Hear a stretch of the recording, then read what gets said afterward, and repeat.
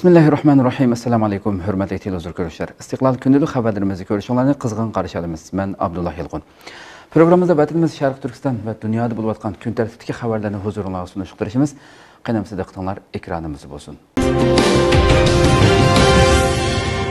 amerika parlament a'zolari xitoy elchixonasi oldida namoyish qildi amerika parlament a'zolari bilan kishilik huquq faoliyatchilari xitoyning amerikada turishliq bosh elchixonasi oldida namoyish o'tkazdi amerika ovozining xabarida bildirilishicha jumhuriyatchilar partiyasining avom palata a'zosi kris semis va bir qism kishilik huquq faoliyatchilari 27 yanvar xitoyning amerika turishliq bosh elchixonasi oldida yig'ilib namoyish qilgan va bejingda o'tkazilmoqchi bo'lgan qishliq olimpik tanarkat musobaqasini irqiy qirg'inchilik olimpiki deb atab xalqaro jamiyatni bejing qishliq olimpikini boyqut qilishga chaqirgan.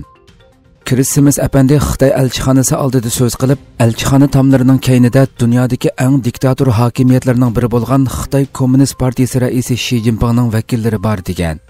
Ва бүген үзләренең Хытай тарафыдан изелгән халыкка вакалатан каршылык күрсәтеп атканлыгын тәэкидләгән. Смис әпәнде яна Хытай тарафыдан бастырылып аткан Шәрқ Түркстандагы уйгыр мусламанлары va Hongkongda bostirilgan muxbirlar demokratchilarni qo'llaydiganligini shundoqla bejing irqiy qirg'inchilik olimpikiga qarshi turadiganligini bildirgan.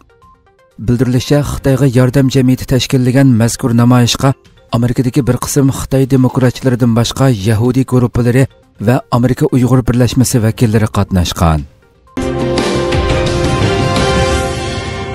Uyg'ur tarixini burmalashga xizmat ko'rsatgan erkin tuniyaz rasmiy rais bo'lib tayinlandi. Sobiq qo'rchoq amaldor shuhrat zakir sirli holda iste'fo berib tushirilgandan keyin atalmish uyg'ur abnim rayoniga muvaqqat rais bo'lib kelayotgan erkin tunyas rasmiy rais bo'lib saylandi. Xitoy tashviqot organi xalq to'rining xabarida bildirilishicha 27 yanvar atalmish uyg'ur abnim rayonlik 13 navbatlik xalq qurultiyining 5 yig'inida qo'rchoq amaldor erkin tunyas atalmish uyg'ur abnim rayonlik hukumatning rasmiy raisligiga tianshanli reviziya komitetining mudirligiga tayinlangan. 59 yoshlik Erkin Tuniyaz uzun yillardan beri Sharq Turkistonda Xitoyga sodiq xizmat qilayotgan qo'rchoq amaldorlarning biri bo'lib, ilgari Xotan viloyatlik tashkilot bo'limi va Xotan viloyatlik komitetida ishlagan va 2014 yildan boshlab atalmish Uyg'ur Abnum rayonlik hukumatning muavin raisi bo'lgan. U bultur 30 sentabr Shuhrat Zakirning o'rniga muvaqqat rais bo'lib almashgan edi.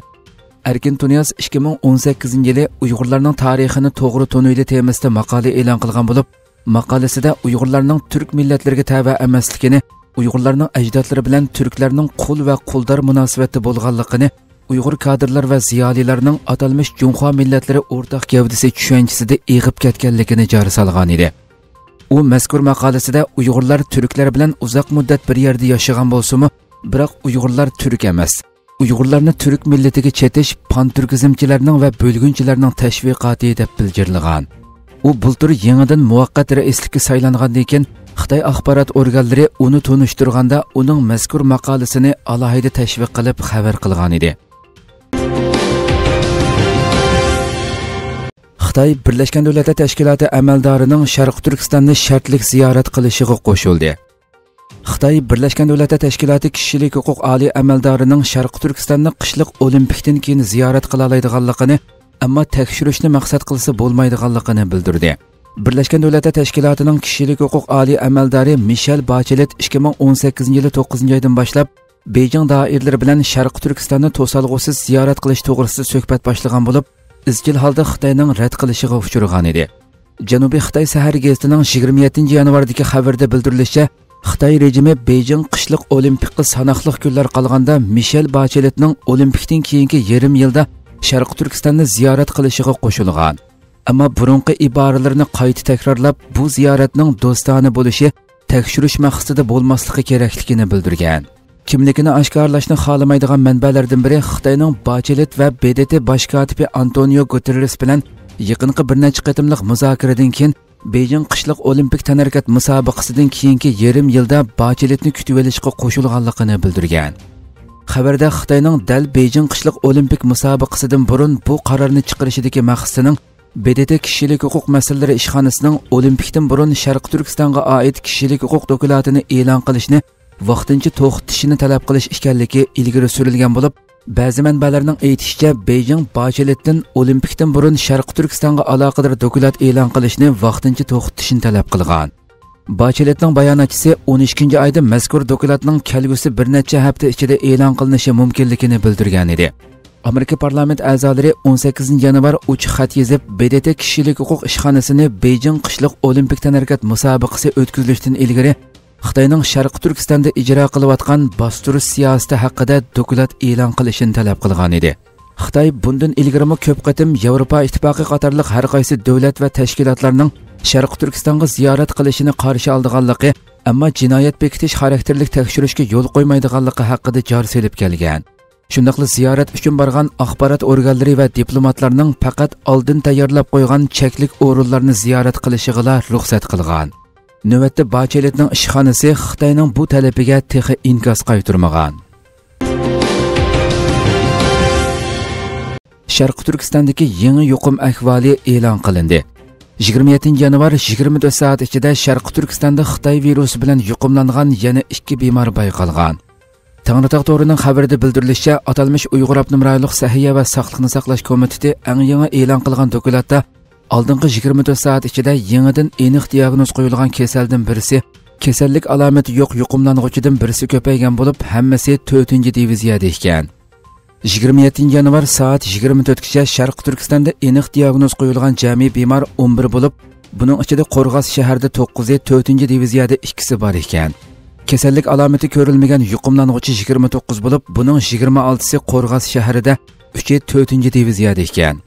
Xabarda qayd qilinishicha diagnoz qo'yilgan bemorlar va ular bilan yaqindan uchrashquchilar qo'rg'as shahridagi bekitilgan doktorxonaga yo'tkilib ayrim tibbiy ko'rsatilishga boshlagan tojikiston qirg'iziston chegarasida to'qinish kelib chiqdi. Tojikiston bilan qirg'iziston chegarasida to'qinish yuz bergan bo'lib uch tojikiston askarining yaralanganligi va to'qinishning davomlashayotganligi xabar qilindi. Sputnik agentligining 27 yanvardagi xabarda bildirilishicha qirg'iziston chegara bexatarlik idorasi qirg'iziston bilan tojikiston chegara qo'g'dug'uvchilari o'rtasida to'qinish yuz berganligini e'lon qilgan.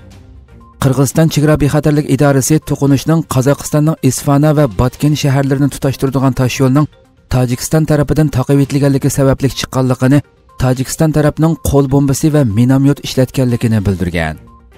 Tojikiston chegara bexatarlik idorasi bo'lsa qirg'izistonning tunji bo'lib o'q chiqarganligini va tojikiston bexatarlik qismlarining buningga javob qaytarganligini e'lon qilgan. Xabarda ikki davlat rahbarlarining chegara rayoniga berib jiddiylikni pasaytirish uchun harakat qilganligi ammo chegarada ogohlantirish signali berilganligi va ikki davlatdan kelgan bexatarlik qismlarining rayonga o'rinlashtirilganligi bayon qilingan. Xabarda qayd qilinishicha qirg'iziston davlat mudofaa ministrligi yana chegara rayonidagi doktorxonalarning hushyorlikni o'stirganligini qirg'izistonning isfana shahri somonyon yezsidagi ayollar va bolalarning bexatar joyga yo'tkalganligini bildirgan.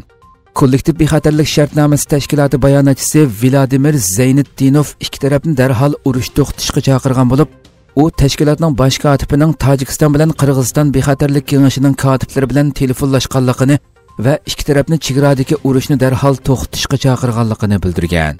Ahvoldan xabardor kishining aytishicha to'qinishda besh kishi yaralangan bo'lib ularning ikkisi chegara qo'g'dug'uchisi ekan. Qirg'iziston sahiya ministrligi tojikiston chegarasidagi qurolliq to'qinishda yaralangan qirg'izlarning yettiga ko'payganligini e'lon qilgan. Navbatda qirg'iziston chegara mudofaa idorasi tojikiston armiyasining chegarada ig'ir tipdagi qurollarni davomli yig'iyotganligini bildirgan. Tojikiston davlat bexatarlik komitetimi Qırğızistanın Çigra rayonunda hərbi qism və hərbi əsləhələrini dövləb qoyğanlığını, şundaqla Qırğızistanın uchquchisiz aeroplanining Tacikistanın hava boşluğuna təcavüz qılğanlığını bildirgan. Qırğızistan Çigra müdafiə idorasi Qırğızistanın Batken rayonu və Tacikistanın Soğdi rayonunun valiylarining iştirak qilishi bilan ikki davlatning amaldorlari o'rtasida suhbat boshlanganligini e'lon qilgan qirg'iziston bilan tojikistonning chegarasi taxminan 990 kilometr bo'lsimi talash tortishdagi chegara rayonlari sababli ikki davlat fuqarolari bilan chegara qo'g'dug'uchilar o'rtasida pat pat qurolliq to'qinish yuz berib kelmoqda xitoy chegaradan o'tgan bir kishini hindistonga o'tkazib berdi xitoy harbiy qismlari chegaradan qonunsiz kirdi deb da'vo qilingan bir odamni hindistonga topshirib bergan va hindistonni chegaradagi kontrolni kuchaytirishga chaqirgan. Reuters agentligining 27 yanvardagi xabarda bildirilishicha, Xitoyning g'arbiy qism bayonotchisi Lung Jiaohua bayonot e'lon qilib, yaqinda Xitoy chegara mudofaa soqchilarining Tibetga joylashgan Midog nohiysidagi chorlash jarayonida chegaradan qonunsiz kirgan bir hindistonlikni qo'lga tushirganligini va hindistonga o'tkazib berganligini bildirgan. Xitoyning g'arbiy qism qo'mondonlik shtabi payshanba ijtimoiy taratquv hisobotida bayonot e'lon qilib hindistonni xodimlarni kontrol qilishni kuchaytirishga chegara rayonlarining normal tartibini saqlashga chaqirdiganligini bildirgan. Ma'lum bo'lishicha hindiston armiyasi bir qatim xitoy tarafdan chegara mudofaa qiziq liniyasi orqali odam izlashga yordamlashishni talab qilgan. Ikki taraf chegara mudofaa uchirish liniyasi orqali aloqalashib kelgan. Navbatda xitoy taraf mazkur hindistonlikni hindiston tarafga topshirib bergan. Umrvoyat prezident bo'lish huquqi bekor qilindi. Qozog'istonning sobiq prezidenti nursulton nazarboyevning davlat xavfsizlik kengashi va qozog'iston xalq majlisidagi umrvoyat prezident bo'lish huquqi bekor qilindi. Turkiya ovozi radiosining bu vaqtdagi xabarda bildirilishicha parlamentning yuqori palatasi haftalik umumiy yig'inida davlatning tunji prezidenti nursulton nazarboyevning siyosiy huquqini o'z ichiga olgan qonun loyihasiga ba'zi tuzatishlarning kirgizilishini ma'qullagan. Bununğa asasən Nazarbayevning дөлет Xavfsizlik Kengashi ә Қазақстан Xalq Məclisidəki ömürvayət prezident bo'lish huquqi bekor қылынған. Қанун лайысы palata əzalarının бірдек avaz беріші nəticəsində ma'qullanğan. Мәскүр қанун лайысы бұныңдың бір әпті елгірі парламент әзалыр тәріпідің тәстіқленіп, кеңіш палатасыға сұнылған еді.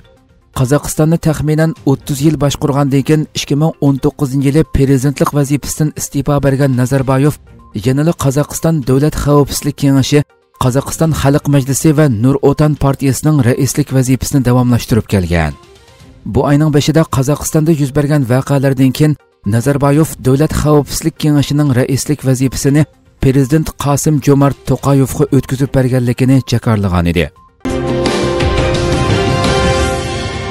erdo'g'an tilimizni qo'g'dash ko'rishimiz milliy ko'rishimizning asosiy dedi turkiya jumhuriyati prezidenti rajab tayyib erdo'g'an turk tilini qo'g'dash va texmi beytish ko'rishining aslida milliy kurashning asosiy ekanligini bildirdi.